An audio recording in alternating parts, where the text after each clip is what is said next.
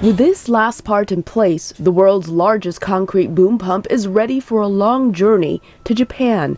Made by the German firm Putzmeister, this pump is normally used to carry concrete in large construction projects.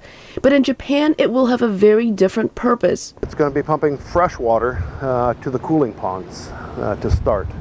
Putzmeister manager Gary Schmidt says smaller pumps have already been spraying water onto the damaged reactors to keep them from overheating. But a giant pump like this with a 70 meter vertical reach or 25 stories high can spray 160,000 liters of water every hour. It can also do what the other pumps cannot. It helps to get over any obstructions and in, so it'll reach up and then back into the uh, to, into the building.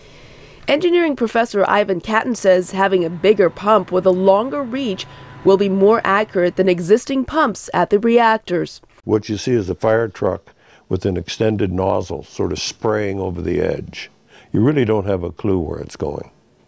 They just hope they're getting it on top of the spent fuel pool. Whereas if they have this one with the extended boom, you could put a video camera up there and you could put it right where you want it. Two of these giant pumps from the U.S. will be helping the Japanese government to cool down the reactors at the earthquake and tsunami damaged Fukushima nuclear plant.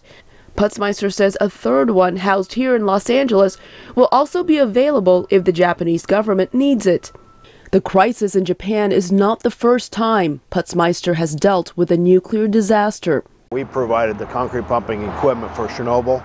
But unlike Chernobyl in the former Soviet Ukraine, where the plant has been sealed in concrete, Catton says the damaged reactors in Japan can and should be studied when they're safer several years from now. You need to dissect this beast and figure out exactly what went on in order to avoid it in the future. In the meantime, Catton says the best hope for the Fukushima nuclear disaster is to keep pouring water onto the reactors find and repair the problems, and wait for the situation to improve. Elizabeth Lee for VOA News, Los Angeles.